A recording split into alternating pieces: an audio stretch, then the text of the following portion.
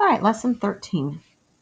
Grandma had already eaten her breakfast. She was at the stove fixing ours. Sausage patties, which reminded me of the brakeman, and buttermilk biscuits and fried eggs over easy. Mary Alice turned up promptly, looking perky and innocent. I remembered Skipper. When Grandma's back was turned, Mary Alice broke open a biscuit and stuck a sausage patty inside it. Then she pushed it down her skirt. She knew I was watching, but she didn't meet my eye. The eggs were runny, so that was a problem for her. She thought about making an egg sandwich to go up with the other biscuit, but gave it up. When Grandma turned back to the table, Mary Alice had licked her platter clean. She skidded out of her chair and was gone, back upstairs. Grandma gave her departing figure a long look. She'd mentioned that the night air would cool her brew to soap, so we went outside to see. The embers were white, and sure enough the pot was solid with soap, something like soap. It reminded me of the cheese she fed the catfish, and it didn't smell much better. My job was to pry it out of the pot. Grandma hunkered in the grass with the butcher knife to carve it into cakes. "This here's good soap," she remarked as she went at it with the knife. "It lathers good and it'll take the top layer of skin right off you." The sun hadn't been up long, and the morning glories were just beginning to unfurl. Then far down the road a cloud of dust appeared, heading for town. Nearer it was nearer it was Miss Eubanks, the strings of her sunbonnet flying. She was standing up in her buckboard with a whip in her hand. Her old straw hat hatted mule was galloping. I'd never seen a mule break into a trot, let alone a full gallop. The buckboard sped past the house, never slowing for town. Grandma stood up to watch it pass, fingering her chins thoughtfully. She gave me the chore of scraping out the soap pot, which looked like a long day's work. I had to roll the pot in the grass and climb halfway in with a wire brush to loosen the clinging soap. It was a mean job, and some very strange smelling stuff had gone into that soap. Grandma had said that the full recipe for it would die with her. In an hour's time I hadn't made a dent in it. By then Mary Alice had come out on the back porch, wearing her tap shoes. She began to run through one of her routines, calling out the steps. Shuffle ball, change, step, step. Shuffle ball, change, step, step. I was scraping away on the pot and she was tapping away on the porch, and if you asked me, she was acting entirely too innocent. We heard a clopping of hoofs and a jangle of harness, and here came Miss Eubanks in her buckboard back from uptown. She swerved into Grandma's side yard and drew up. The old mule was foaming at the mouth and looked near death. Its straw hat was hanging from an ear. Miss Eubanks dropped down and lit running. She pounded on the back porch, shoving Mary Alice aside. But even Miss Eubanks didn't quite dare to storm into Grandma's house. She gave the screen door a savage rattle, though.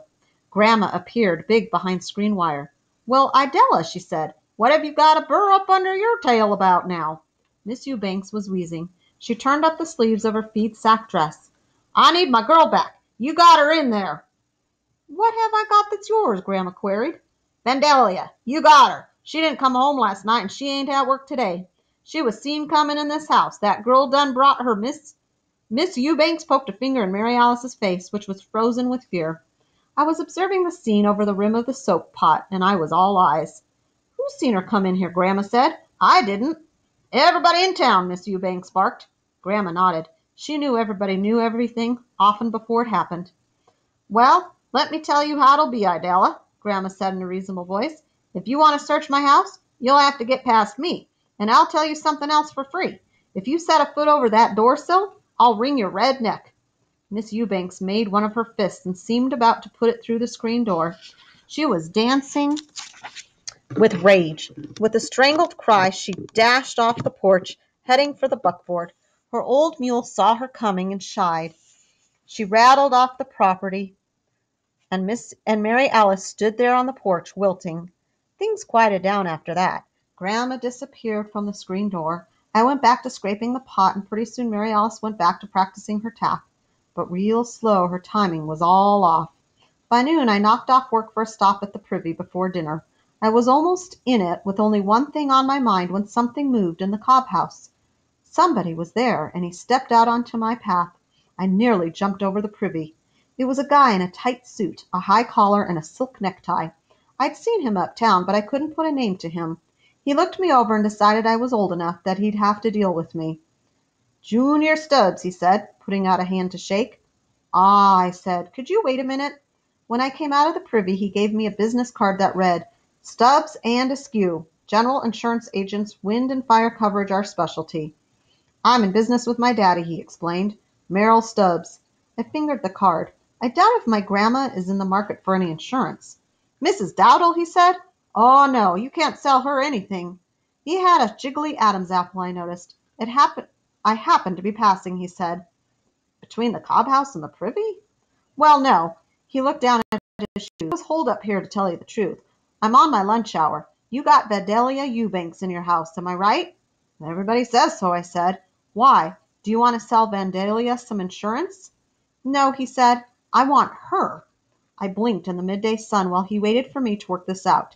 Could you get a message to Vandalia? he asked, pulling out another one of his cards. You can read what's on the back of it, just to show you I mean business. I turned the card over and read, Come steal away with me, sweetheart. Let nothing no longer keep us apart. Break yourself free of your mother's rule. She never knew love, and she's just being cruel. I love you, honey, Junior. My ears burned like fire. Now that I was thirteen, it took less than this to embarrass me. Do your best, he said. It's now or never for me. If your old ma gets her, if her old ma gets her home again, I'm a dead duck. Tell Vandalia I'll be back in the cob house tonight by dark, with hope in my heart. Then Junior cut out. I watched him scale Grandma's back fence in his suit. By mid afternoon, I'd done all I could do on the soap pot, and a nickel was burning a hole in my pocket. I was thinking hard about a knee high, but before I could make my escape, a car pulled up in front of Grandma's house a 1930 Ford Model A sedan. A lady and a man got out and started up the front walk. I went in the kitchen door, not wanting to miss anything. Grandma was already at the front door, and Mary Alice was hanging around the foot of the stairs that led up to the bedrooms. I palmed Junior's poem to her, and she stuck it down the front of her shirt where the sausage sandwich had, sandwich had gone earlier gone. Junior will be in the cob house by nightfall, I murmured, and Mary Alice nodded. Whatever you're selling, Merle, Merrill, Grandma was saying at the front door, I don't want any. Mr. Merle Stubbs and his wife overflowed the front door. Now, Mrs. Dowdel, I'm not here in my professional capacity. I have took time off work and brought Mrs. Stubbs with me to have a friendly word with you. They got their feet in the door, and, Miss, and Grandma let them take chairs in the front room. What do you want? she said, not sitting. Nothing in the world but to chat with you on a private matter. Mr. Stubbs shifted one leg over the other. There's no private matters in this town, Merrill, Grandma said. Everybody's private business is public property. Yes, and you've stuck your nose in ours, Mrs. Stubbs said, speaking up sharp. You got that Eubanks gal upstairs this minute. Mrs. Stubbs glared at the ceiling. She's trying to steal my son, and you're helping her out.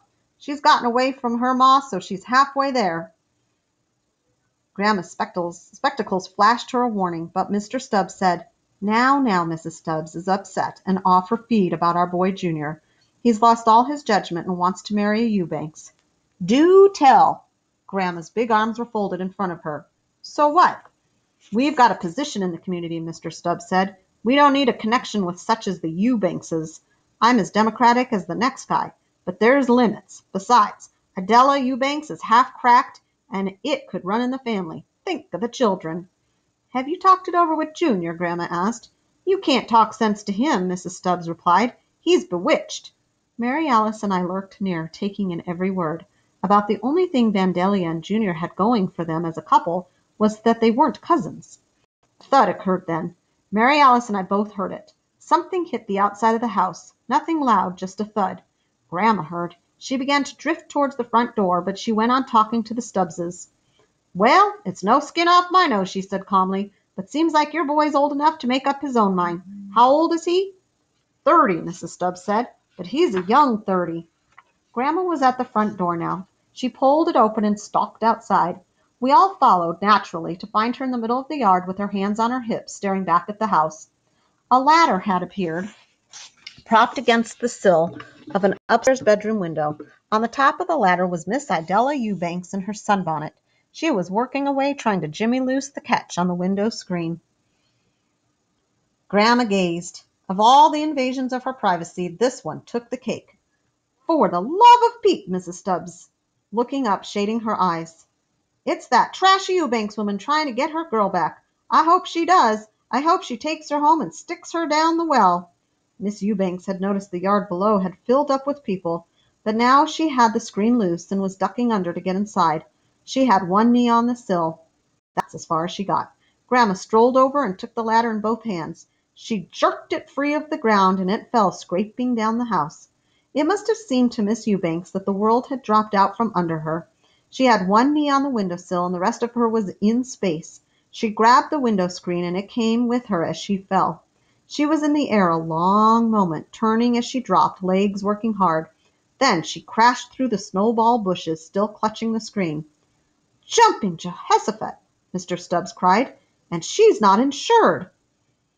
Top of a nodding snowball had snagged her sunbonnet, but Miss Eubanks herself was down among the roots, beginning to crawl out from under the bushes that had broken her fall. Again she was wheezing. Forgetting their differences, Mr. Stubbs would have gone to her aid, but Mrs. Stubbs took him in hand and headed to their ford. Over her shoulder Mrs. Stubbs called back, "I hope this puts an end to the entire unfortunate business, and I don't want any more interference from you, Mrs. Dowdel." "Get in the car, Lula," Mr. Stubbs said, and they gunned away as fast as a Ford goes. Miss Eubanks sat in the yard, dazed. Grandma stood above her. "There's my property line," she said, pointing it out. "Get over it." Miss Eubanks limped away steaming. Where'd she parked her mule I didn't know. It was still alive, if it was still alive. She turned around just as grandma's off grandma's territory. "You done abdicted my uh, my girl," she howled, "but I'll git her back. You watch." I looked up at the bedroom window with the missing screen. A face appeared there briefly, ghostly pale, and it wasn't Skipper, the puppy. By eight o'clock that night the whole town knew everything. Defying his parents, Lula and Merle, Junior Stubbs was known to be in Grandma's cob house waiting to make his move, and Vandalia Eubanks, tucked away upstairs in Grandma's house, was ready to make hers, in spite of her half-cracked mother, Idella. The Wabash Cannonball train was due through on its run between Detroit and St. Louis. It was going to make its usual quick stop at 8:17, and the runaway couple were going to elope on it. Everybody said so. The Coffee Pot Cafe was doing its best business in several years because its front windows looked out on the depot.